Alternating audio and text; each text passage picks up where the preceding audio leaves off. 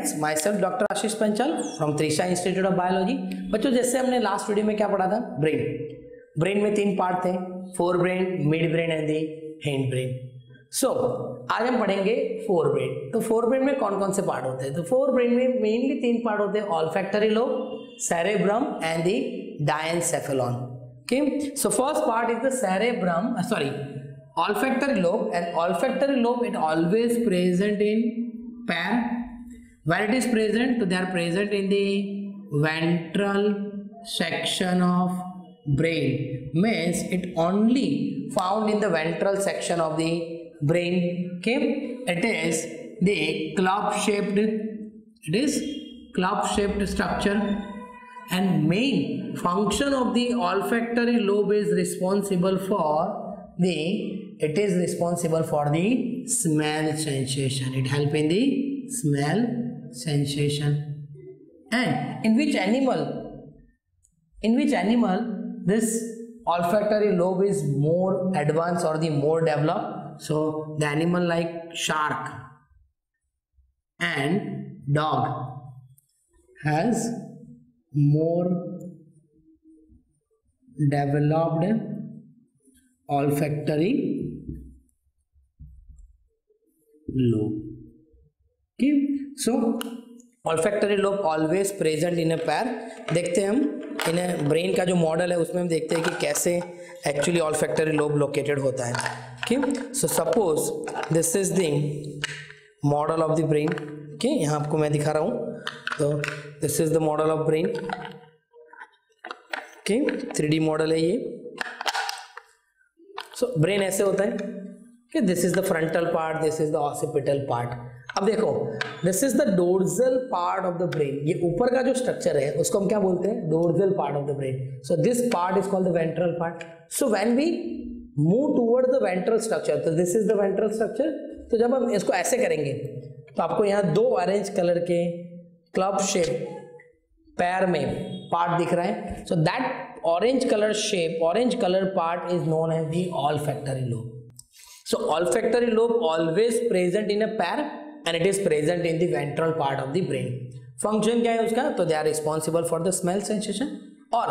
in which animal they are more develop so like dog dog हम सबको बताया कि डॉग का मेन अब देखो कई सारे डॉग होते हैं जो पुलिस डिपार्टमेंट और सब में काम करते हैं तो उसका जो स्मेल सेंसेशन होता है बहुत पावरफुल होता है इसलिए डॉग और शार्क में ये ऑल फैक्टरी लोग ज़्यादा डेवलप होते हैं clear so this is all about the olfactory lobe now in cerebrum king So it is also known as the big brain. See, on an average, two-third part of brain is covered by the cerebrum. Okay, always there are two cerebellar hemisphere, the right side and the left side cerebellar hemisphere. Both the cerebellar hemisphere are joined together with the help of the corpus callosum. So the two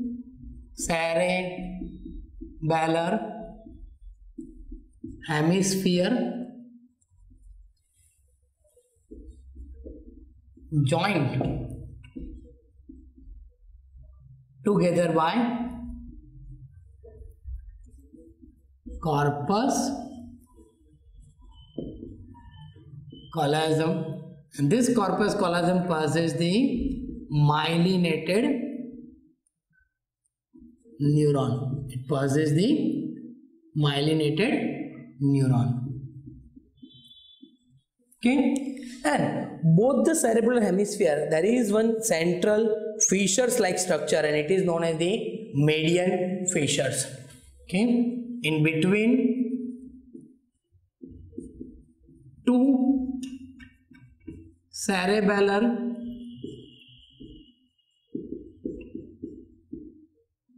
hemisphere it has a median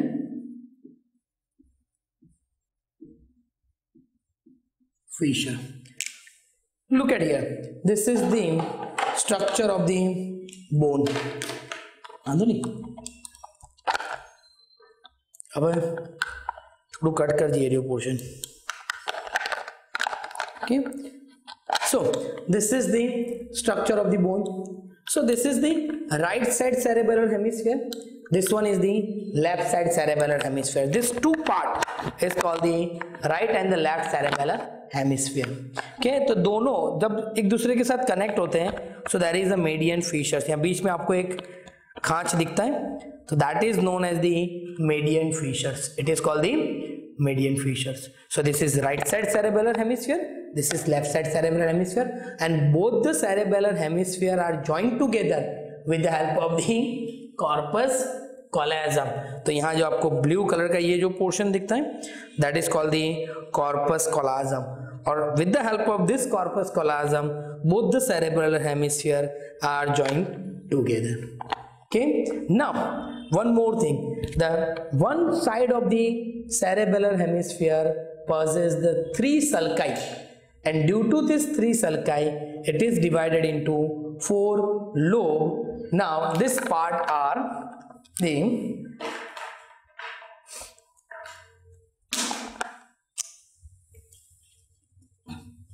okay now each cerebellar hemisphere has three sulcus and due to this the whole cerebellar hemisphere divide into four part okay देखिए first that is the central sulcus this part is known as the central sulcus आपको यहां दिख रहा है that is frontal और parietal के बीच में ये जो आपको दिख रहा है के तो that is called the central sulcus दोनों साइड हो गया ऐसा so this is frontal part this is parietal so first क्या है central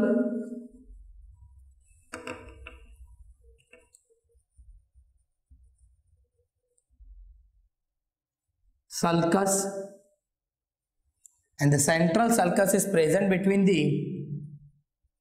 frontal and parietal lobe वो फ्रंटल और पैराइटल लोब के बीच में होगा the second one is the lateral sulcus और लेटरल सल्कस आप देखो कहाँ है तो यहां आपको दिख रहा है this black colour line is the lateral sulcus वो किसको सेपरेट करता है तो temporal lobe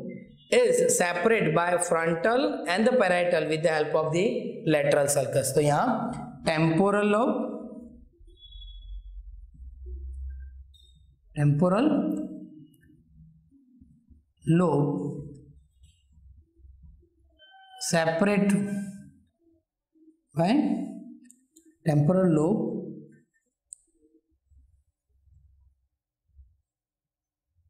and frontal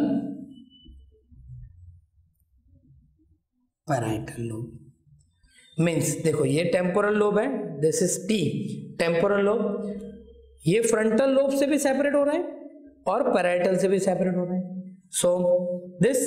lateral sulcus is separate the temporal lobe with the parietal and the frontal clear now the third one is the parieto occipital sulcus तो वो कहां होगा पीछे की तरफ तो it separate the parietal and the occipital bone separate parietal and occipital bone clear so the single cerebellar hemisphere with the help of three sulci. It is divided into four parts: frontal or anterior part, middle or parietal, temporal and posterior and the occipital parts. So due to this, due to this, the cerebrum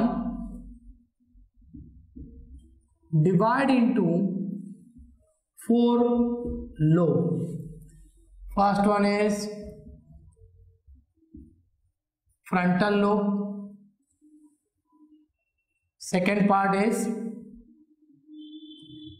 parietal lobe third one is temporal lobe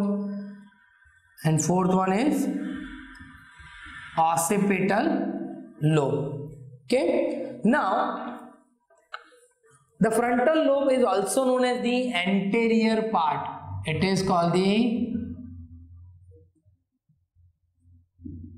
anterior lobe okay now अब देखते हैं कि anterior lobe में कौन कौन से sensory organ होते हैं तो इन anterior lobe it has the primary motor area second one is the pre motor area third one is the broca's speech area fourth one is the motor i filled area and fifth one is the association area अब देखो primary motor area which control the regulation और control the activity of skeletal muscle it control activity of skeletal muscle means frontal part में primary motor area होता है और वो क्या करता है control the activity of the skeletal muscle और हम सबको पता है कि right side brain is control the left part of the body left side brain control the right part of the body अब जब भी अगर फ्रंटल लोब में राइट साइड अगर कोई प्रॉब्लम होता है और सोचो कि प्राइमरी मोटर एरिया में प्रॉब्लम हुआ राइट साइड तो उसकी वजह से क्या होगा द लेफ्ट साइड पार्ट और left side skeletal muscle get paralyse वैसे ही अगर left side primary motor area में कुछ डिस्टर्बेंस हुआ या कुछ प्रॉब्लम हुआ तो उसकी वजह से राइट right पार्ट होगा जो स्केलेटल मसल होंगे that will be paralyse clear now the second premotor area so premotor area is control the activity of smooth muscles और वो क्या करता है स्मूथ मसल्स की एक्टिविटी को कंट्रोल करते हैं Broca speech area is regulate the speech means pronunciation वो क्या करता है प्रोनाउंसिएशन जो हम बोलते हैं के वो मेंटेन करता है motor eye field area it help in the locomotion sorry movement of eyeball it help in movement of eyeball And this association area, association area is responsible for memory, learning, thinking, creativity and many more functions is controlled by the association area. Clear? Now the second parietal part. So in parietal part it possesses the primary sensory area and association area primary sensory area for it sense the touch hot cold and pain means अगर आप कोई गर्म चीज को touch कर लेते हो तो आपको तुरंत पता चलता है कि ये हॉट है कोल्ड है के तो वो सारे सेंसेशन कहाँ आते हैं पैराइटल पार्ट में के वन मोर थिंग कि उसके एसोसिएशन एरिया भी होते हैं means it store the memory it store the memory means अगर कोई चीज़ को आपने एक बार छू लिया और आपको पता चला कि ये ठंडा है दोबारा अगर वही चीज़ आपके सामने अगर लाए लाएंगे तो तुरंत आपको पता चल जाएगा ये चीज़ कैसी होती है ठंडी होती है क्योंकि उसके जो मेमोरी होती है वो कौन से एरिया में स्टोर होता है एसोसिएशन एरिया में then the temporal lobe has the sensory area and उसमें भी एसोसिएशन एरिया होगा तो टेम्पोरल लोब में है that is the sensation of emotion smell okay then taste ये सारे सेंसेशन कहाँ होते हैं टेम्पोरल पार्ट में और उसकी भी मेमोरी स्टोर कहाँ होती है तो the memory store in the association area means अगर आप कोई चीज़ एक बार टेस्ट करते हो और आपको पता चले ये स्पाइसी है तुरंत दोबारा वो चीज़ आपके सामने आएगी तो आप तुरंत उसको आइडेंटिफाई कर लेंगे कि ये स्पाइसी होता है तो इसीलिए एसोसिएशन है occipital lobe occipital lobe has the sensory area and उसमें भी एसोसिएशन एरिया होगा so that sensory area for the visual reflexes और यहां भी उसका मेमोरी स्टोर होता है मीन्स कोई चीज़ आप एक बार देख लें आपके दिमाग में उसका मेमोरी फिट हो जाता है so these are the various sensory part of the सैरे तो यहां हमने क्या देखा कि सेरेब्रम में कौन कौन से पार्ट है तो पहले सेरेब्रम ऑलमोस्ट जो पूरा ब्रेन होता है उसमें two third part of the brain cerebrum होता है से, दो सेरेब्रल हेमिस्फीयर होता है दोनों एक दूसरे के साथ कॉर्पस कोलाजम से अटैच्ड होते हैं के एंड दोनों सेरेब्रल हेमिस्फीयर के बीच में एक बड़ा क्या होता है तो ग्रू होता है उसको बोलते हैं median fissures each cerebellar hemisphere divide into the four lobe with the help of the sulci उसमें तीन सल्का है central sulcus between the frontal and the parietal part lateral between the temporal and frontal parietal and parieto occipital between the occipital and the parietal okay जो चार part है frontal part parietal part temporal and occipital हम parietal को और middle part भी बोल सकते हैं ओके एंड ऑसिपिटल को हम पोस्टेरियर पार्ट भी बोल सकते हैं and these are the various sensory area of the frontal parietal temporal and occipital part clear so, bachcho next video mein hum dekhenge diencephalon okay thank you